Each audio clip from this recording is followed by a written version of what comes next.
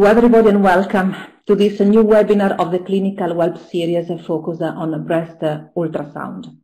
My name is Laura Taroni and I am the European Marketing Manager for General Imaging Ultrasound in GE Healthcare.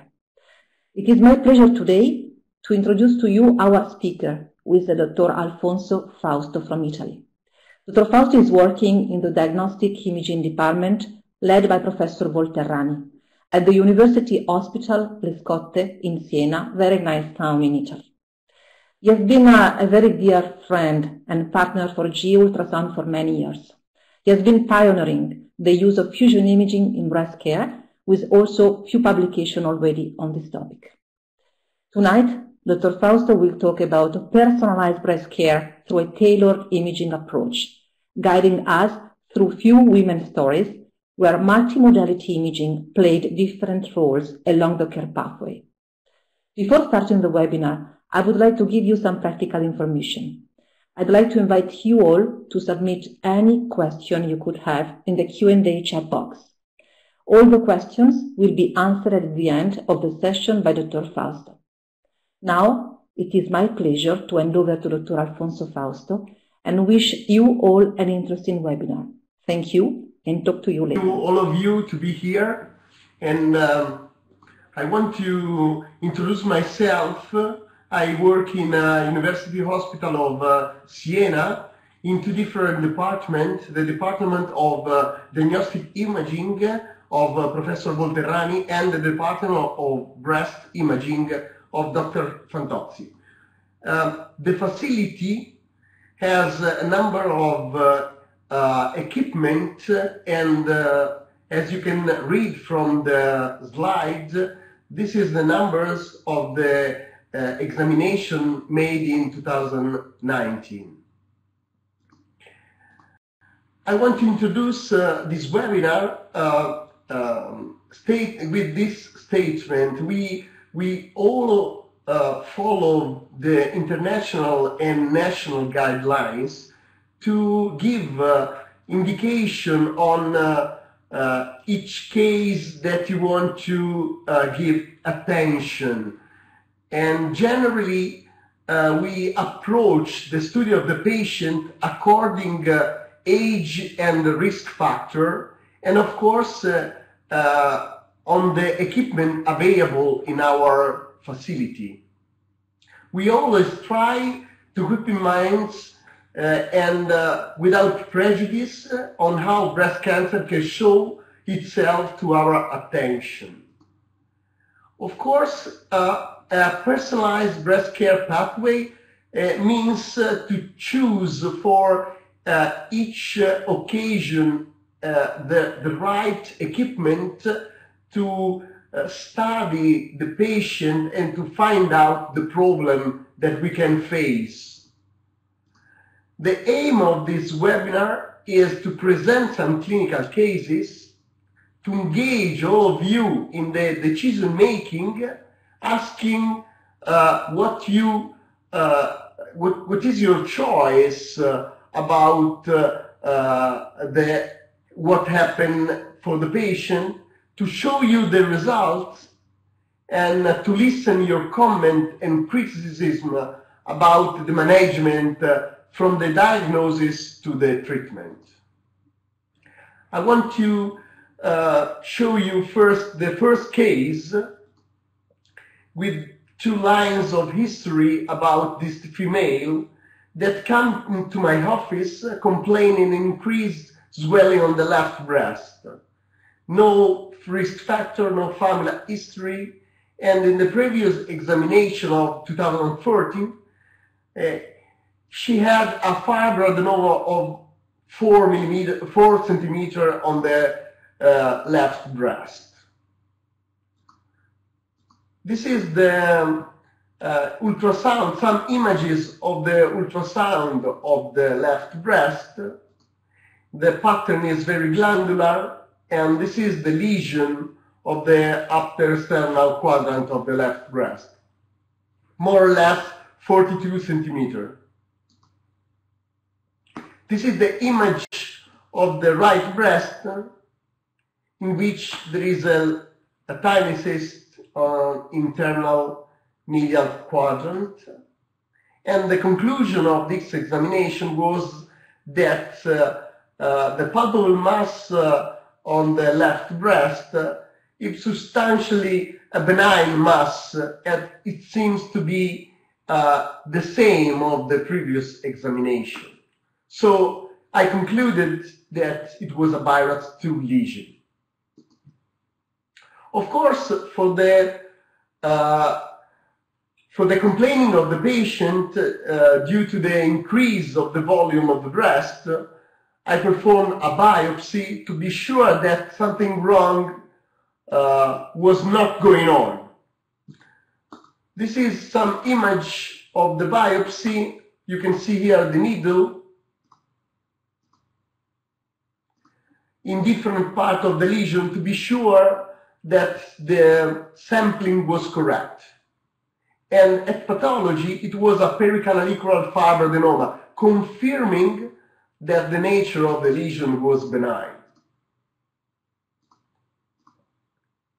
So I want to ask you uh, what we can do, what uh, sh uh, should you do in this case considering uh, the uh, situation? One year follow-up, an indication for surgical intervention, or additional imaging uh, like contrast-enhanced MRI or a mammography, considering the age and the risk factor of the lady. So please make your choice.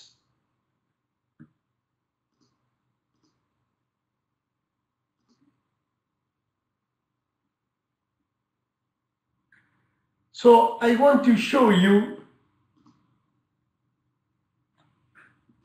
what happened uh, to me when I decided to to perform a, um, a breast MR imaging. And you can show here, you can see here the uh, subtracted imaging after postal contrast media, that uh, this is the lesion and uh, this is something wrong upon the lesion.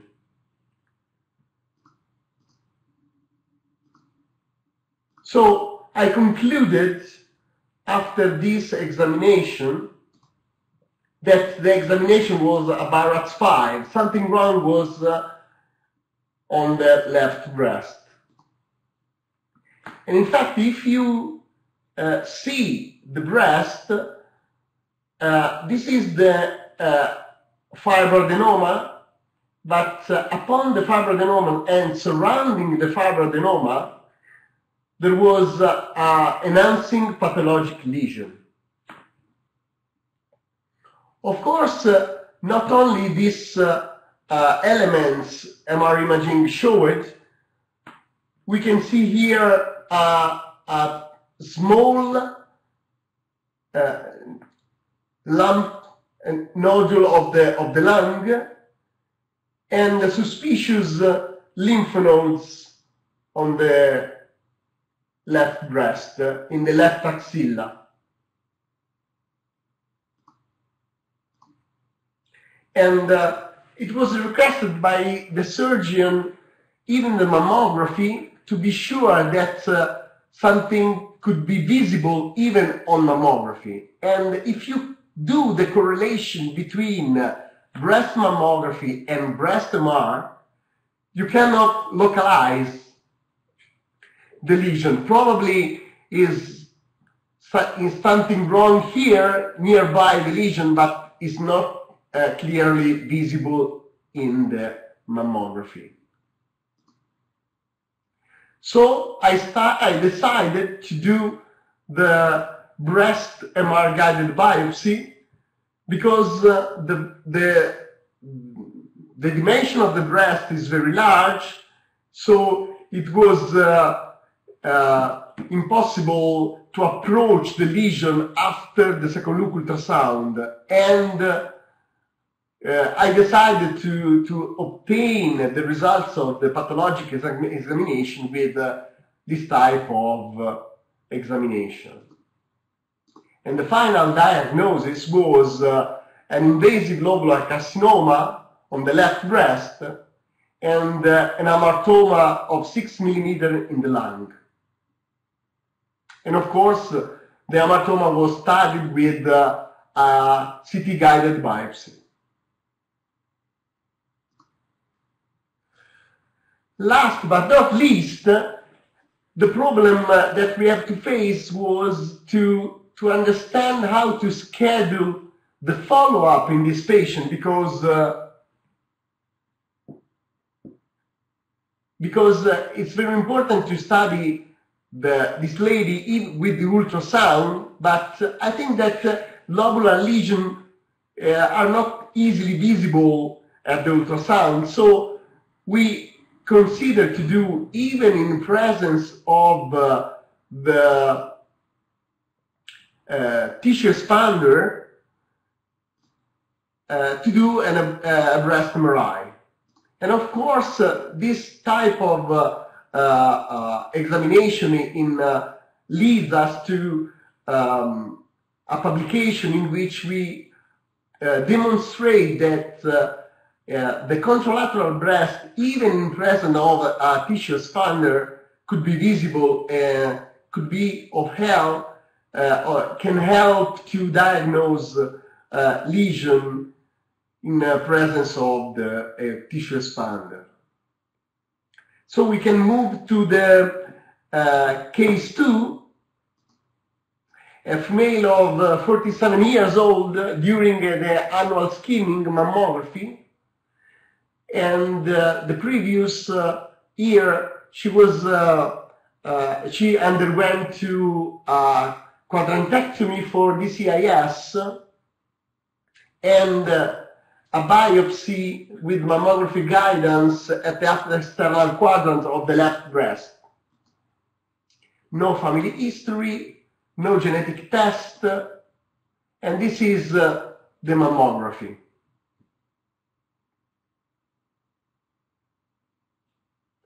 So you can see that uh, there is a, a, marker here of the previous uh, stereotactic guidance, and uh, in the internal uh, inferior quadrant of the right breast that uh, uh, quadrantectomy, nothing of suspicious can be detected.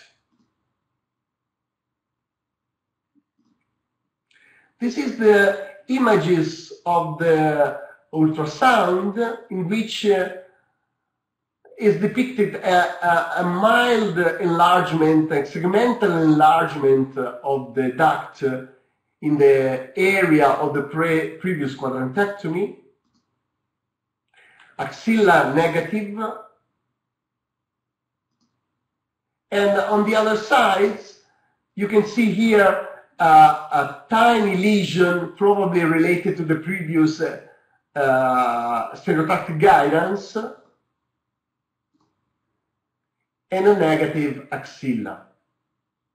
So the conclusion was that uh, on the right side, an irregular hypoechoic breast lesion was found, probably in the area of the uh, stereotactic biopsy, and a segmental ectasia of the right breast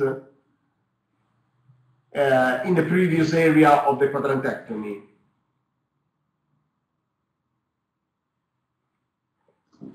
So this is the image of the elastography of the lesion of the uh, left breast that could be uh, mixed between a, a, um, a hard area and a soft area. So it was classified by us 4 for the distortion and, and irregular margin of the lesion. So we perform a dynamic uh, breast MRI. This is the uh, STIR sequence. And uh, this is the subtraction, uh, subtracted images of the post-contrast uh, enhanced uh, breast MRI. And I want you to show better something wrong uh, on the right breast in the inner internal quadrant, the same quadrant of the previous uh, uh, quadrantectomy, and something at the confluence of, of uh, superior quadrant of the of the left breast. The same breast uh, underwent to the stereotactic guidance. So uh, this is a partial MIP in which you can see the the uh, this, the multiple area of pathologic enhancement of the right breast,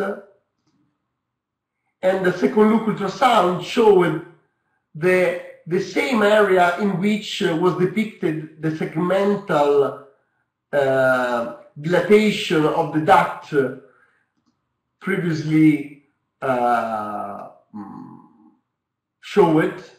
Of course, what's easy to, to do the sampling in that area thanks to the uh, segmental ectasia and at pathology resulted an atypical ductal hyperplasia. So all the depiction uh, of the of the MR imaging were correlated to this type of pathology results. But if you consider the diagnostic concordance among the pathologists uh, for breast biopsy specimen, in case of atypia, there is a large different interpretation. And thanks to this publication, I want to ask you what you can do, what you suggest in this case. One year follow-up, an indication for surgical intervention, an additional biopsy, and uh, uh, an MR guided biopsy or US guided biopsy with volume navigation. Please make your choice.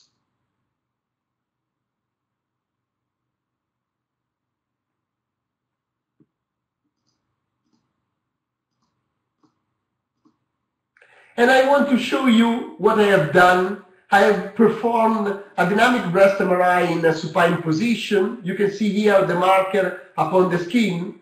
And you can see how it's easy to obtain uh, a breast MRI in supine position with the normal and uh, uh, equipment that every or everyone has everyone have in the facility. And this is the subtracted uh, images in which you can recognize uh, the lesion at the internal quadrant of the lower uh, right breast. And of course, I have done a, a biopsy with fusion guided biopsy with the US, in which you can see here the area and the localization with the needle perpendicular to the, to the area with a mixture of iodine and uh, coracoid vegetal fluid liquid tube for surgical uh, removal. And this is the mammography after the, the procedure. You can see how the tissue marker of the previous uh, uh, US guided uh, biopsy. And then you can see here the mixture between uh, the uh, iodine contrast media and uh, vegetal, vegetal charcoal to, to tell to the to the surgeon the area of interest. And the final diagnosis was uh, that uh, in the same area of the quadrantectomy and radiotherapy, uh, the CIS was found, or 43 millimeter. So of course, the lady was uh, undergo to a mastectomy. Thanks to this uh, study, thanks to this uh, uh, experience, uh, two different papers were published in which uh, we consider all the uh, experience made on the um, second ultrasound with volume navigation and biopsy and the feasibility of the and quality imaging of the breast MRI compare to the uh, breast MRI in supine position. So we can move to the case number three. A female with multiple, multiple palpable lumps of the right breast. This is a case of this year, 20, uh, 52 years old, no family history, no risk factors, a previous mammography negative, and this is the mammography showed.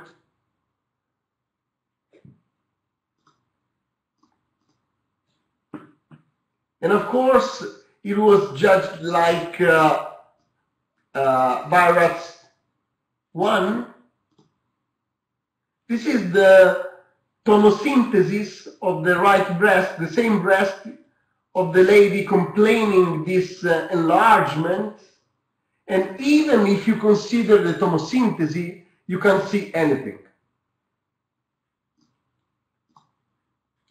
And I show you two videos of the uh, right breast from the beginning of the nipple area to the external quadrant and uh, from the nipple area to the upper confluence of the superior quadrants. And of course, you can see here that nothing can be visible at US. So we have a breast US and a mammography totally negative. What would you do in this case? You have a lady in your office that complain an enlargement and palpable subjective lumps. And you can see an increased uh, enlargement of the uh, breast without see anything at imaging.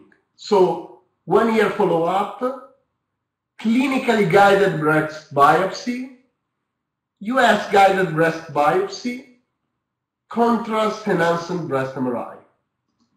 Please make your choice.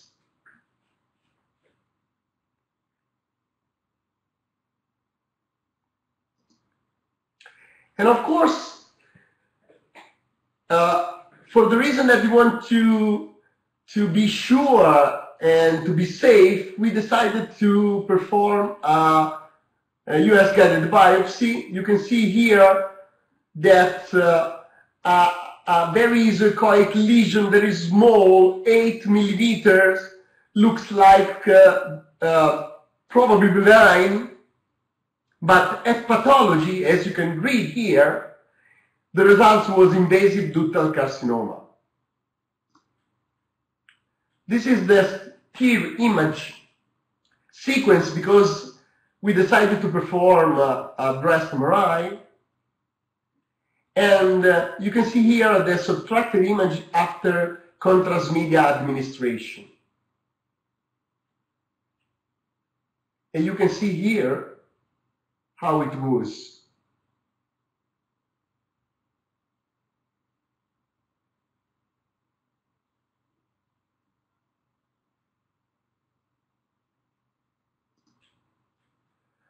We have done the second ultrasound and uh, we concluded that uh, uh, at second look ultrasound nothing was visible at the uh, left breast, we can see an enhancing lesion, tiny lesion, that at the second look resulted at a fibroadenoma of 9 millimeter. As final diagnosis was an uh, multicenter, multicentric uh, DCIS, IDC, G1 plus invasive lobular carcinoma. It was a mixed uh, uh, cancer of the right breast and a fibroadenoma of the left breast.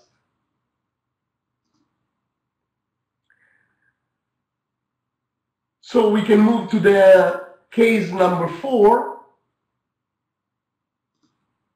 A female of uh, 60 years old, 63 years old,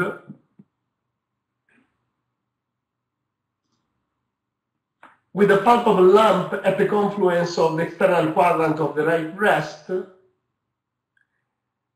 invasive lobular carcinoma was uh, diagnosed at pathology in another hospital, so they sent to me this patient for local staging with MRI.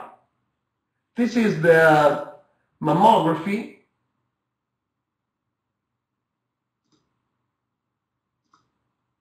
which you can see here the lesion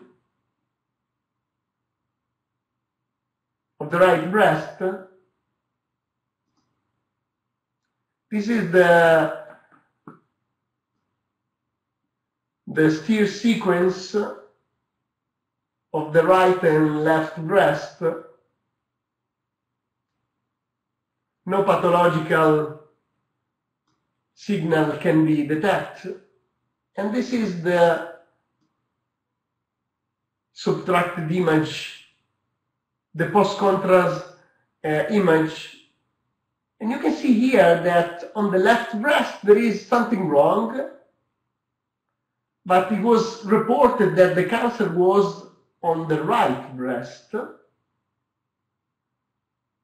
Probably here in the upper external quadrant, you can show, you can see here something wrong, but what you do in case of uh, uh, very different results between the previous information and the actual information which uh, is referred a cancer on the right breast and you can find a, a cancer on the right, on the left breast, but you don't see anything sure correlated to the, the, the, the information that's sent to you. Please, uh, what you choose in this case, you call immediately the radiologist that uh, performed the previous examination reported a wrong side, you perform a second look to see if uh, the, the lesion are two or not. You contact the surgeon for additional clinical information, or you report only the contrast enhanced, what you see on the contrast enhanced MRI. Please make your choice.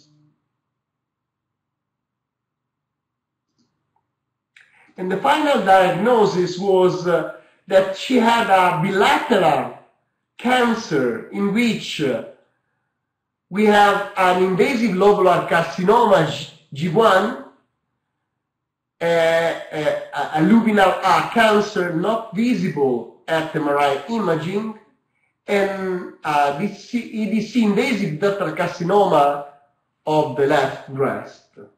This, this was the first case in which uh, uh, MR imaging can't see anything, even in presence of approved cancer of the breast.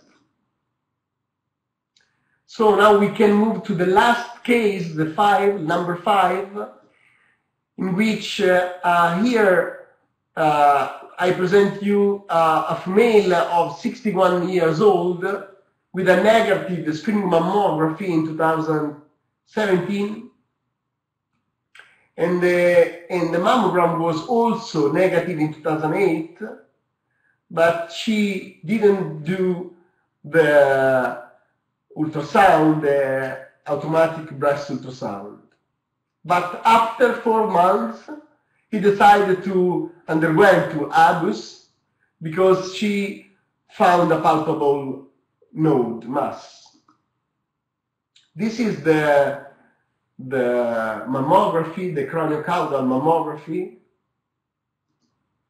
And this is the mediolateral uh, mammography.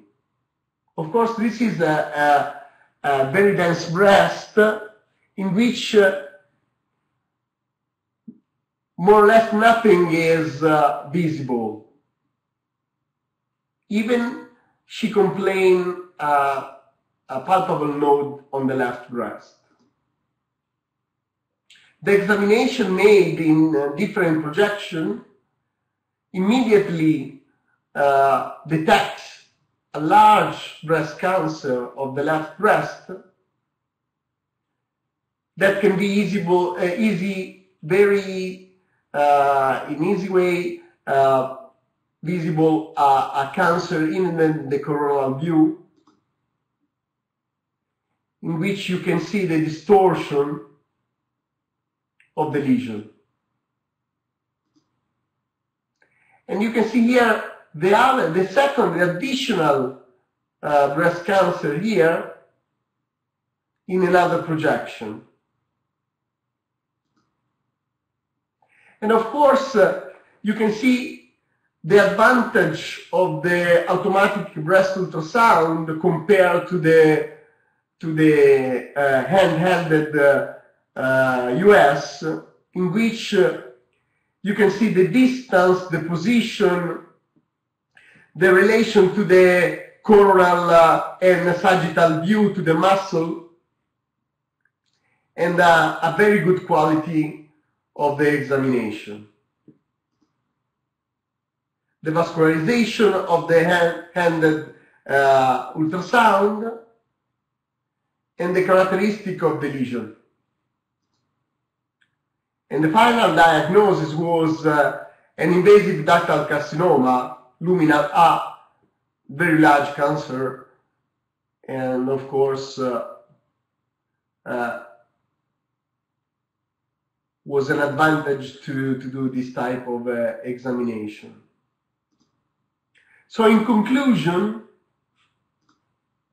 it is impossible to know how will appear the next breast cancer. So we can imagine uh, uh, the interval time uh, uh, that can allow us to detect uh, uh, the lesion, the breast cancer, and only using a personalized multimodality image approach, we can good a good answer. We can give a good answer to our patients, and of course, it requires a bigger effort because we have to do uh, most confident to the all diagnostic uh, and interventional devices that uh, now are currently available in our facility. I want to thank you all for your attention and uh, I wait for your uh, question to my presentation. Thank you. I would like to, to thank you a lot um, for your interesting presentation, uh, in particular being a woman, because uh, I tell you that um, seeing then uh, uh your uh, commitment, your patience, uh, your engagement really to find and to go deeper into the analysis of a case. And uh, we are not just a case, your patients are women. And in this case, uh, the way you want really to find uh, and to understand what maybe it is difficult to understand from from the first examination. So that's why you you never, I would say, um, you never stop and you go till, uh, till the end to have an answer. So, and we have many more cases when we came to Siena as well. You have been showing uh, very challenging cases. So from a women's standpoint, really, uh, really thank you for, uh, for uh, what you did and, uh, and for what you showed as well. So you displayed so many cases, um, and you showed that every woman's story so is different every cancer story is different uh, and also needs to be managed in a different way. So I think uh, um, the use of personalized uh, approach uh, can really make a difference in the life of these uh, women. And uh, I think that what is good for one could not maybe be for another, uh, from a cancer to another cancer. So that's why was was really clearly visible from uh, from your presentation. So thanks a lot for all these cases.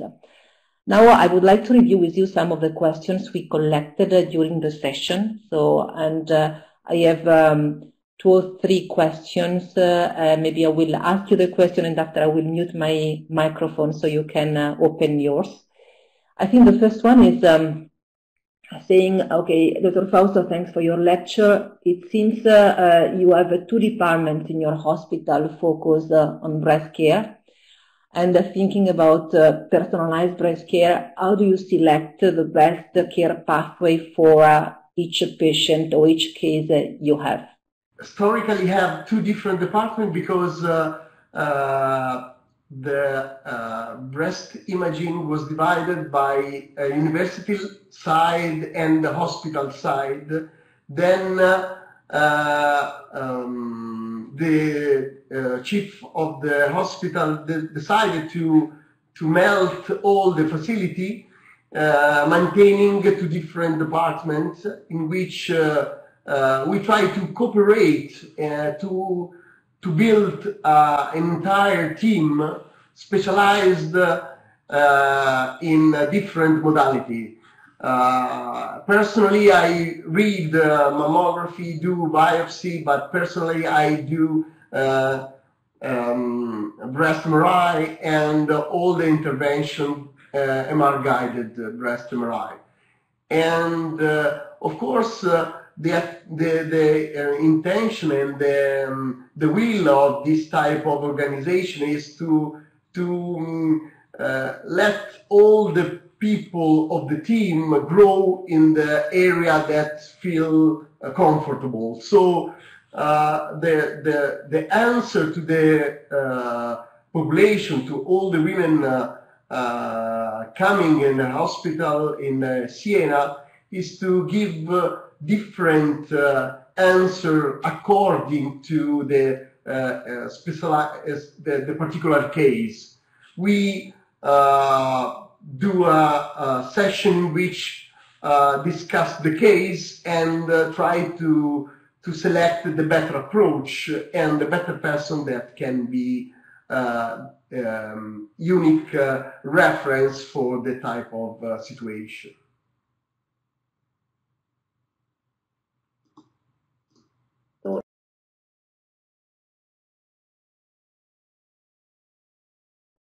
So it's uh, it's a personalized uh, breast care pathway in this case uh, for each case, as you said. So that's why you decided the best uh, department and uh, um, competence actually that you you will uh, you will use in your departments. I think we got two additional questions. So live now, one is. Uh, will be there, in your opinion, more modalities available in future for investigation? Uh, I haven't present, I have no, uh, I have some, for this presentation I have to do a, a choice. Uh, so uh, cases of uh, spectral uh, mammography was excluded, but I think that contrast enhanced mammography could be another modality for the future. Uh, we um, have uh, uh, um, dual energy CT that we have published a study in which we have com compared the result of um, spectral imaging CT of the breast with uh, uh, lower energy. So I think that uh, uh, of course, if you work in a hospital in which you can have uh, lots of equipment, uh, you can find and you can choose the, uh, during the time with the experience uh, the better one for the typical case, of course.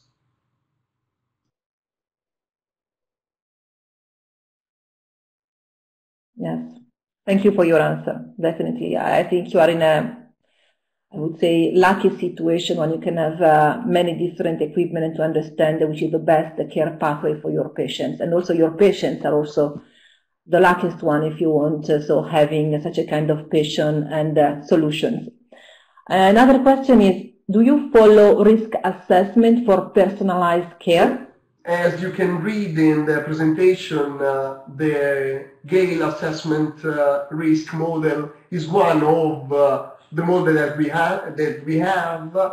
Uh, we try to connect with the, the genetic uh, uh, department to collect all the BRCA1, BRCA2, and other mutation for breast cancer.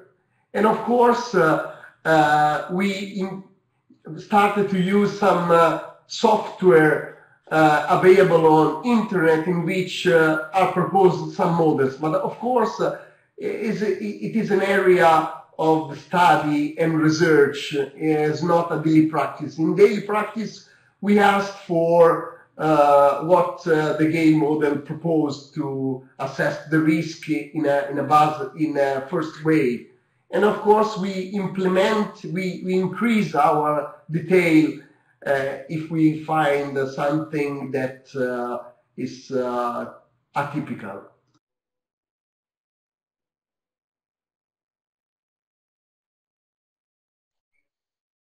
Okay, very, uh, very good. Uh, uh, I have two or three more questions, Dr. Fausto. The first one is about um, some cases you showed. And it's, uh, we saw that in case uh, one, uh, you performed an MRI guided biopsy, while in case clinical case two, you did a biopsy guided by ultrasound and MRI fusion imaging. Can you explain the rationale behind this? Uh, there are, I mean, any limitation uh, to use a fusion imaging in uh, all cases? the first patient, the patient in the first case has a, a, a, very large breast. So when we do the uh, MRI in supine position, we have a very uh, unpredictable um, dislocation of the breast. So it's not easy in that case to perform a, a US guided uh, biopsy with volume navigation. So we prefer in that case to go straight to the MR-guided biopsy. In the second uh, case, the women have uh, a, a, previous uh, uh surgery. So, uh, and the position of the lesion was very close to the chest wall. So, uh, for this reason, uh, we decided to go to the other type of uh, uh, biopsy with volume navigation that is very safe in case of nipple area and very close to the chest wall. And it was the right choice, I think, because in this case you you you can understand uh, uh, uh, how can be safe the biopsy into different case in this, this different case. Okay. That's, that's okay. That's that's clear now. Um, I, I received a um, few more questions, uh, Dr. Fausto. So I, I will go to the first one uh, from the audience is, uh, do you use uh, in your daily routine a shear wave elastography? Because we saw a strain imaging elastography in your presentation. Is um, very useful, very easy to apply, and uh, uh, considering that uh, for strain ratio you have to do for elastography hand um, for the elastography you have to do a sort of reference. So when we use the strain ratio, we have to do uh, a post-processing, so we takes uh, a little time, but of course uh, elastography, and we have demonstrated in a previous publication that shear wave and elastography uh, strain ratio, elastography could be uh, could have the same results. So uh, I show you that image because it's very uh, it's very old. It's 2014, 2015.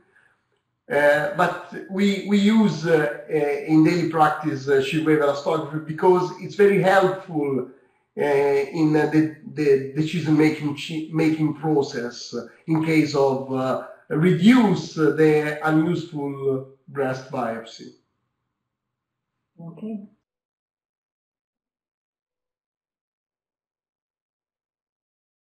Okay, thank you, uh, Dr. Fausto. I'm reading another another question um, is coming from uh, I think a clinician is um, uh, why do you use a high brightness of ultrasound images? at least it seems to be high from the grayscale of the clinical uh, images.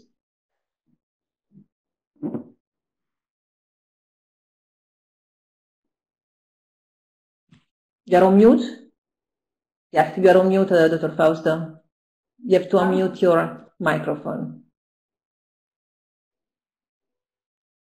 Yes, it's uh, why do you use uh, a high brightness of uh, ultrasound images? Uh, the grayscale, uh, it seems to be uh, very, very bright. Part of the, mm, the, the effect of the video composing uh, it's very, it's too bright, uh, the image, but it, it is only the, the uh, um, registration of the video uh, is an, a collateral effect. It is not uh, the true image. The image, uh, the, the grayscale presented was similar to the static image presented before. And uh, of course, if you use uh, uh, um, a very bright image, it's much more easy to detect uh, uh, the, the, the, cancer if the cancer is uh, um, very fibrotic because it's very hypoechoic. But we have experience of very hyperechoic breast cancer so we don't use that type of uh, uh, bright image, a grayscale.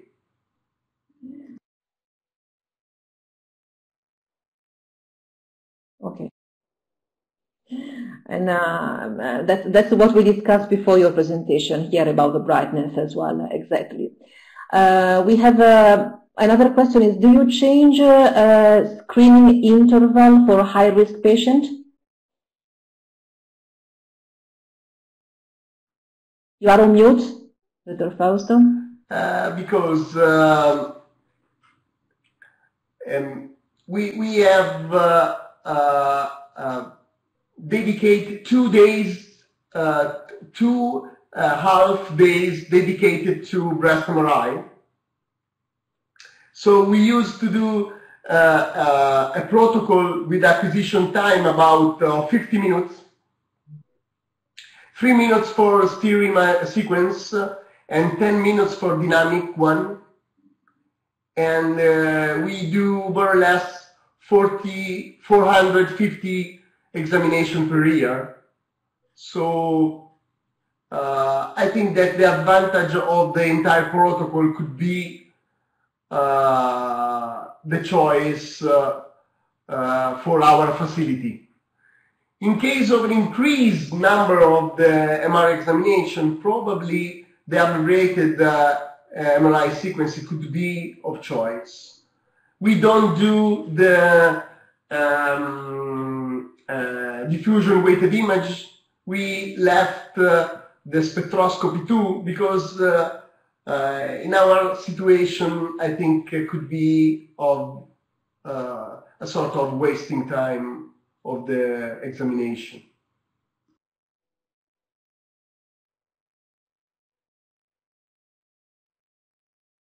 Okay. Uh, I think my question was uh, about uh, the if you change screening interval time, I guess, for high-risk patient in your institute. we decided, uh, the team decided that in case of uh, uh, high risk patient, familial risk patient, or genetic risk patient, we do uh, mm, only one year examination with uh, all the examination we can. Uh, in one day, we try to do uh, breast MRI, breast ultrasound, and uh, mammography. Because a very small group of patients, and uh, I think that uh, uh, doing an ultrasound every six months could be a sort of unlikely choice. Okay. Okay. I think I have um, a last question. Um, so we saw in the last case, uh, there was a patient having a heterogeneous dense breast. Do you have a personalized screening protocol for women with dense breast in your hospital and uh, or in your region? Participate to the screening uh, of the health system, so we can offer uh, routinely to all the patient of the screening uh, breast ultrasound because in Italy is not allowed, is not included. For clinical patient, all the dense breasts undergo to ultrasound and clinical examination. But for the screening, we suggest to the patient of the of the screening protocol to come for uh, a breast ultrasound in our department out of the screening. So we try to give this opportunity and uh, we try to uh, to uh, to study this type of uh, group of patients even with ultrasound, knowing that breast um, mammography in dense breast have a sensitivity very low that not uh, uh, ensure a good quality check for the year.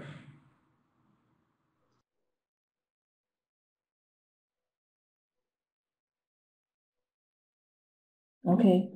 And uh, related to breast density, there is another question saying, do you measure breast density objectively or do visual assessment? Include in our uh, report uh, a subjective uh, evaluation and uh, we have tried some software that give us the opportunity to classify the density automatically. But now is undergoing, uh, is under study this type of approach. But in all our uh, reports, we classify visually and subjectively the density of the breast.